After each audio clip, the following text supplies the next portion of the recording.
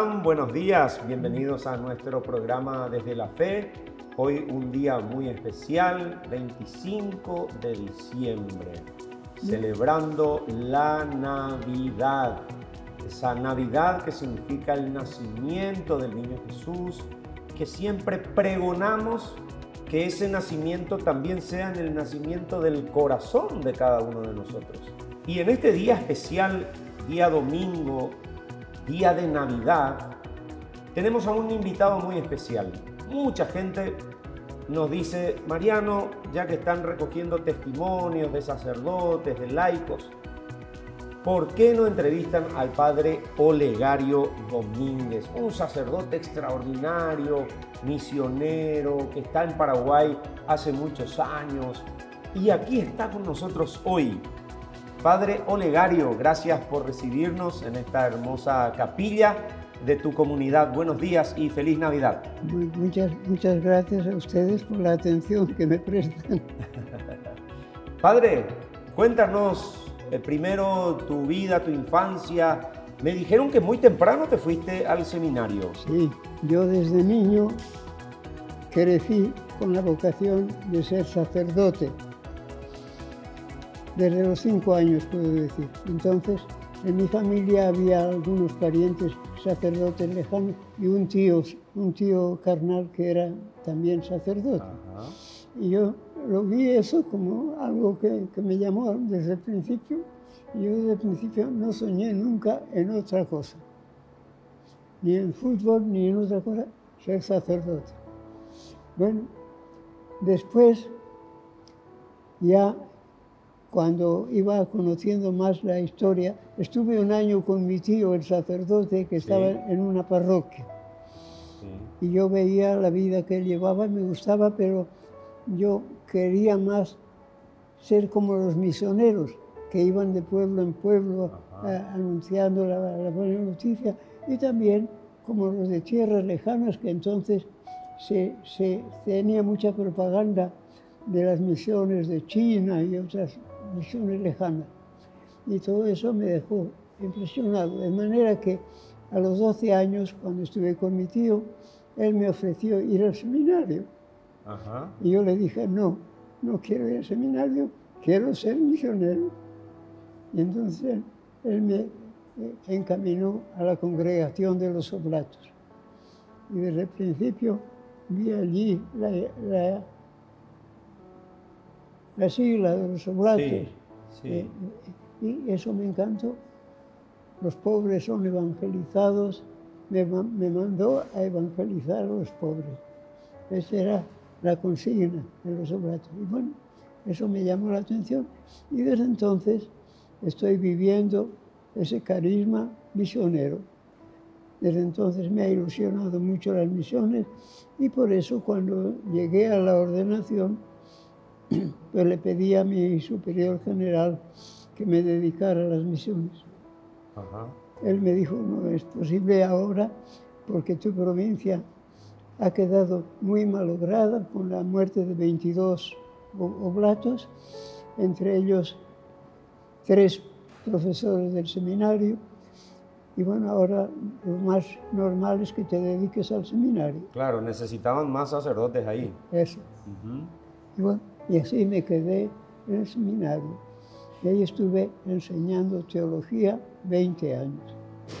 En ese proceso de formación, padre, ¿tuviste alguna duda, alguna crisis de fe que quisiste dejar el seminario? ¿Cómo, cómo fue eso, ese tiempo de formación? Bueno, yo nunca tuve dudas.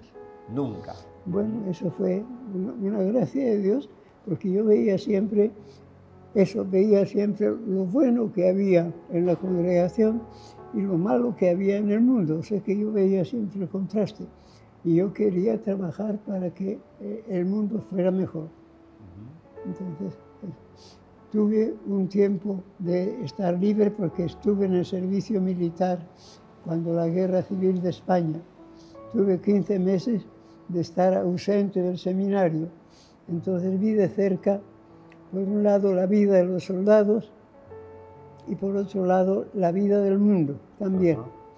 Y entonces no me planteé nunca el de quedar, no, al contrario, yo siempre sentía el deseo de trabajar para que el mundo cambiara. Yo no sabía cómo iba a hacer eso, pero mi deseo era ese.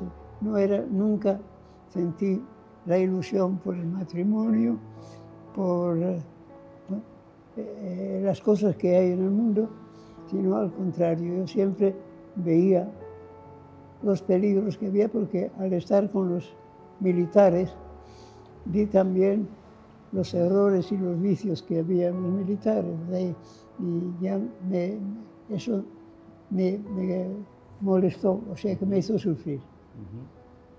Padre, me comentaron que en tu tiempo de formación en el seminario llegaste a conocer a los que ahora son mártires. Comentanos un poco quiénes son y cómo, cómo fue tu experiencia. Bueno, entonces ellos, todos ellos, estaban dos años por encima de mí. Sí. Y entonces había una separación entre los mayores y los menores en el seminario, ¿verdad? Entonces nos veíamos, nos reuníamos en la capilla, en el comedor y todo, pero no había comunicación, o sea que estaba establecido así. Los mayores tenían aparte sus clases y todo eso y nosotros los menores estábamos separados. Pero yo tuve ocasión de conocer a uno porque él era miembro, o sea, era, él tenía eh, a, una religiosa que era pariente suya y la iba a visitar. Yo también tenía una pariente y nos, juntábamos cada mes para ir a visitar. Ese el único contacto así directo. Contactos indirectos era el vernos todos los días en la capilla, en las lecciones, en la eh, lectura espiritual que nos daba el profesor, y así. Pero no había un contacto directo con ellos. Entonces, mi contacto con los oblatos mártires fue primero con el superior provincial, que fue mi superior, y era un hombre de Dios, un hombre muy, muy prudente, un hombre que llevaba la congregación, o sea, que llevaba el espíritu de la congregación adelante con mucho sacrificio, porque él estaba siempre con los más pequeños. ¿Cómo se llamaba? El padre Esteban. También me contaron eh, de tu experiencia con San Juan Pablo II. ¿Qué recordás con él? Bueno, de él recuerdo cuando le eligieron, yo estaba en Roma entonces, y bueno, la fiesta que se hizo ahí grande con él, y bueno, y a los pocos días él eh, tuvo reunión con los sacerdotes, con las religiosas, entonces, entonces ahí le conocí directamente y, le vi cómo oraba espontáneamente, con qué eh, libertad, porque antes el Papa estaba muy sujeto por maestros de ceremonia. Muy alejado de los demás. Eh, entonces, él fue muy libre. Y eso me gustaba ver cómo él se metía con los seminaristas y a uno que tenía el pelo largo, como era costumbre en algunos entonces, le dijo, este pelo hay que quitar. y así. Sé que le vi actuar. Después, un día nos invitó a los sacerdotes y a los religiosos a una audiencia en una iglesia que estaba junto a nuestra casa, junto a nuestro escolásticado allá. Y fuimos, San Pío V. Y, y recuerdo que él iba en medio, a un lado estábamos los sacerdotes de otro lado las religiosas. Y después llegó al frente y dice, bueno, yo siempre había oído decir que las mujeres eran el sexo débil, pero ahora he notado que ellas tiraban más de mi brazo que los varones. Porque había un entusiasmo muy grande por el brazo y hasta le arrancaron botones y por, por llevar un recuerdo. Padre, usted tiene 102 años, ¿verdad? Sí. ¿Y hace cuánto tiempo está en Paraguay?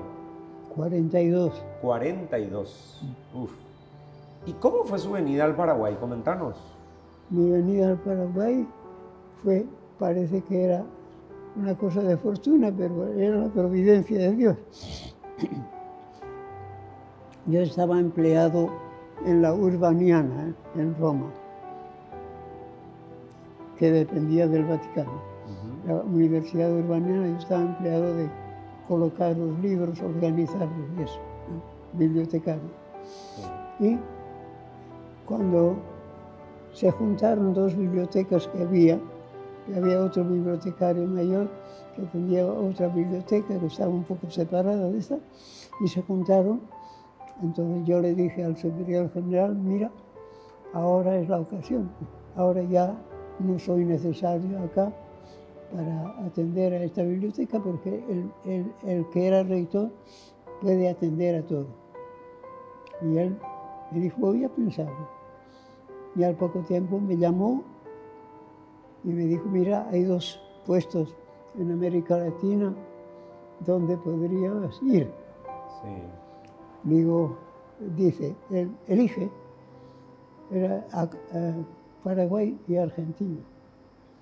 Digo, no, elijan ustedes.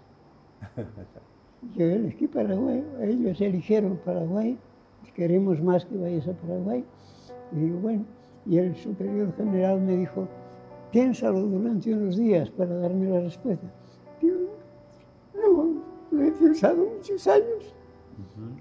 Entonces no. Era tu sueño ser misionero. y se estaba por cumplir. Y Dios tenía para usted destinado Paraguay. Así era. Y no solo usted le conquistó al Paraguay. Usted me dijo también antes de comenzar que Paraguay también conquistó su corazón con el tiempo, ¿no? Sí. Bueno, desde que vine, yo ya vine con el deseo de entregarme del todo, porque era la ilusión de mi vida. Pero después fui conociendo a los paraguayos, vi conociendo la religiosidad del pueblo, que me llamó mucho la atención. Y entonces dije, bueno, tienen ser de Dios, hay que darles la palabra de Dios.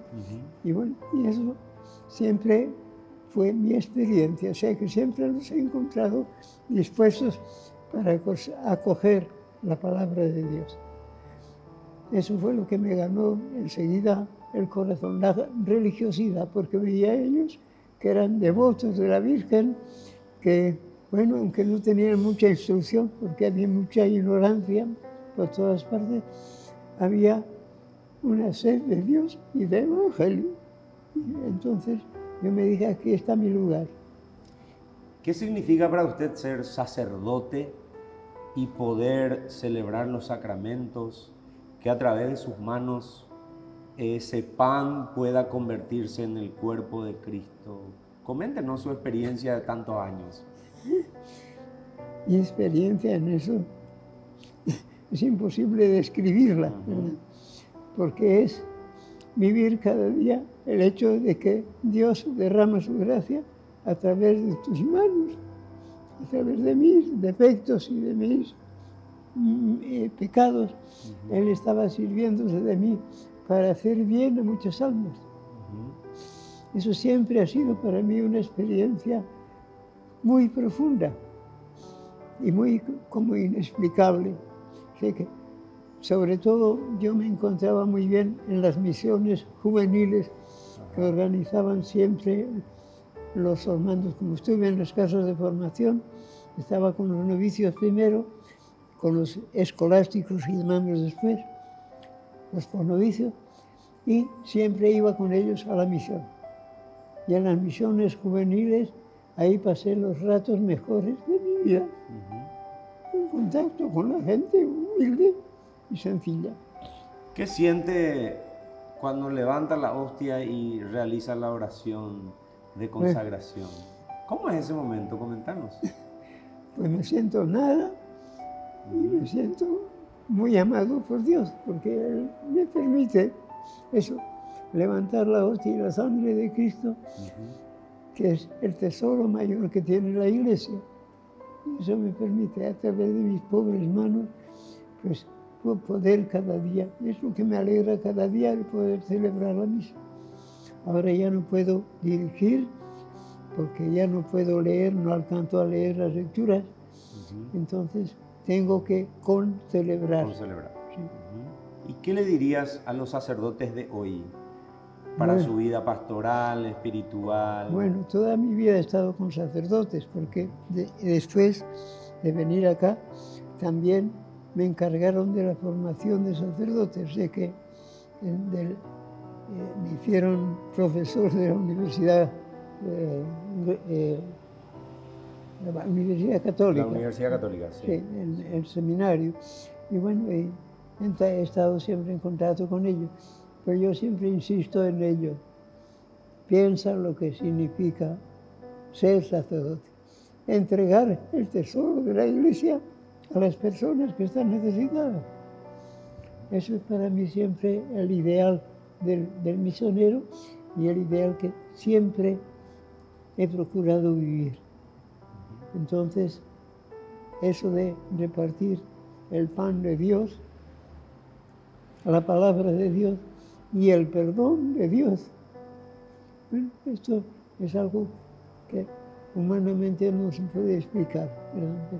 Es, yo cada vez que tengo que confesar o celebrar la Eucaristía, me siento muy pobre, muy pequeño y muy querido por Dios, porque Él ha permitido que a través de mi sacerdocio, que se ha ido prolongando más de lo que siempre esperaba, pues Él se ha servido de mí para eso.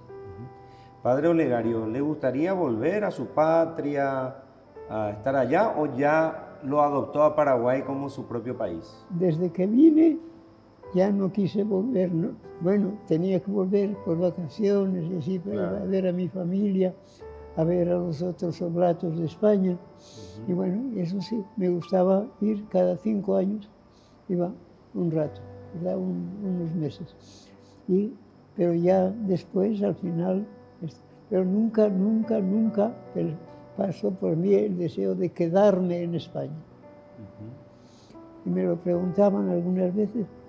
Digo, miren, allí tengo mucha gente que quiere escuchar la palabra de Dios. Aquí ya pasan de todo. Yo sé que la gente está harta de, de cosas de iglesia. La diferencia entre Europa y América, ¿no? Sí, eso. Y sobre todo el, pueblo paraguayo, muy cálido, muy fraterno. Sí hospitalario. ¿Qué es lo que más le gusta de Paraguay? Bueno, eso, eh, la familiaridad, la sencillez. Y, bueno, es, es, lo que más me gusta del Paraguay, ¿sí? Y la religiosidad que va unida a eso, Así que el sentido profundo de la necesidad de Dios que hay en las personas. Padre, hoy es un día muy especial para la iglesia a nivel universal, para la humanidad en general. Estamos celebrando la Navidad.